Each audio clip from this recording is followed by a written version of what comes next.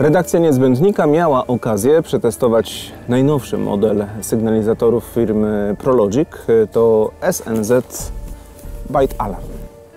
Dla tych z Was, którzy mieli już do czynienia z sygnalizatorami firmy Prologic, nazwa sensor nie jest obca.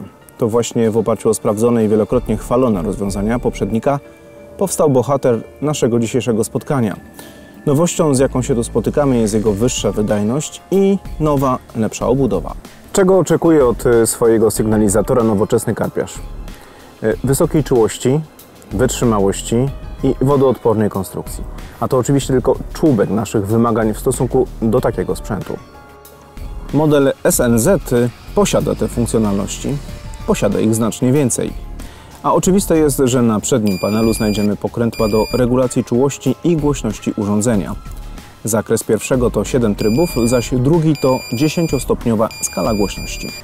Zapatrzeni nocą w nasze kolorowe diody, y, oczekując brania, wiemy, że to są właśnie te najpiękniejsze chwile w wędkarstwie. I właśnie te obrazki zapamiętujemy po powrocie do domu. Niby zwykły sygnalizator, ale sporo w nim magii. Nasz testowany Prologic SNZ ma jej w sobie wiele i to w różnych kolorach. Samych trybów nocnych mamy w nim do wyboru trzy. To małe czarne pudełeczko ma też wiele innych zalet, a właściwie 100.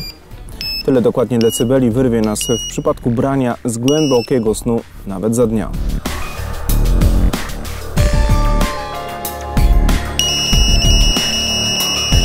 Dobrze skrojony produkt nosi w sobie cechy uniwersalności. Jedną z nich jest wodoodporność, e, co oznacza, że niezależnie od tego, czy kupimy zestaw z trzema sygnalizatorami, czy też jeden, zawsze otrzymamy etui ochronne do każdego z sygnalizatorów. Wyższa wydajność pracy na baterii to kolejna z nowości. E, Producent e, deklaruje, że nasze sygnalizatory na baterii R9 będą teraz pracowały znacznie dłużej.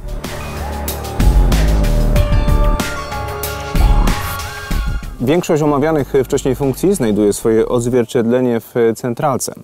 Na przednim panelu e, są m.in. powiadomienia o braniu w postaci mrugającej diody LED.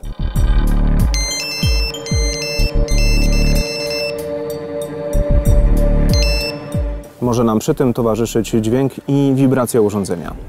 Nocą centralka pozostaje cały czas w zasięgu wzroku dzięki subtelnemu oświetleniu, a kiedy potrzebujemy silniejszego światła, wystarczy jedynie włączyć manualny tryb latarki. Do całości dołączona jest opaska na rękę z karabinkiem. Według deklaracji producenta zasięg urządzenia to 150 metrów.